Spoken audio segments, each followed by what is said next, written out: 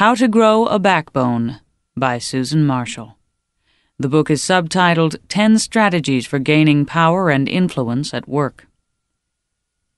Forward.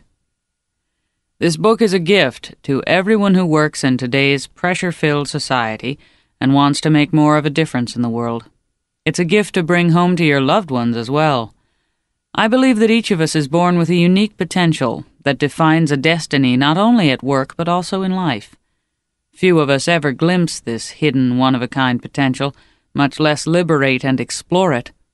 Instead, even when we sense opportunity calling, all too often we find ourselves repeating old habits, saying nothing, getting by, going along, or giving in. One of the key reasons is a lack of backbone. In this compelling and memorable book, Susan Marshall challenges each reader to step forward in life and at work she encourages you to consider specific practical ways to increase your genuine individual power and influence. In my research, I have found that when people successfully face challenges and do the best work of their lives, it's largely because they have found a way to generate uncommon levels of energy, passion, inner strength, and commitment. How to Grow a Backbone is a valuable contribution to the literature and offers vital reading for leaders and professionals at every level of organizations. Robert K. Cooper, Ph.D., Chair of Advance Excellence Systems, and best selling author of The Performance Edge and Executive EQ Emotional Intelligence in Leadership and Organizations. Preface Business, we know, is now so complex and difficult the survival of firms so hazardous in an environment increasingly unpredictable, competitive, and fraught with danger that their existence depends on the day to day mobilization of every ounce of intelligence. Konosuke Matsushita, CEO, Matsushita Electric Industrial Company. Welcome to the world of business, where chaos reigns and organizations desperately need their people to be at the top of their game.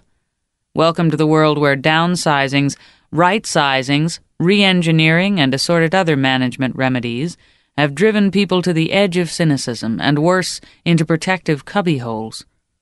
You'd love to have every ounce of your intelligence tapped and channeled for the good of your organization and your career, wouldn't you?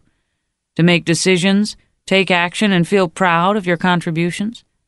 Bet you'd be energized to say what you think without fearing reprisal to be respectful and straightforward in all your dealings, to devote your attention to matters that you know are important instead of being led around on a leash crafted of intimidation and fear. Wouldn't it be refreshing to feel a little more in control of your life at work? You can do all of these things, provided you have a strong and healthy backbone.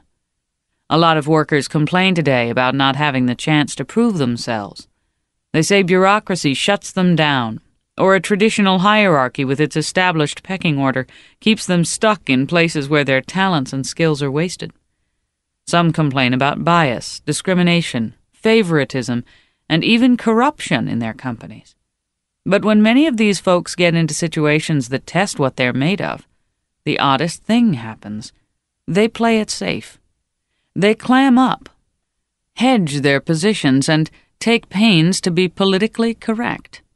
They give all kinds of excuses for why things can't be the way they would like them to be, and they're short on the backbone needed to initiate change. This may be understandable given the chaotic nature of organizational change over the past decade, but understanding the reasons why you're tentative doesn't change the need for you to grow out of this hesitancy. Business is tough, and it's only going to get tougher. Top thinkers in the field frequently use analogies to help people understand the nature and demands of the business environment. Jamming, John Kao's bestseller, describes how jazz musicians gather for jam sessions, creating exciting new music on the fly. He stresses that these freewheeling and wildly improvisational sessions are based on sound fundamentals and learned trust.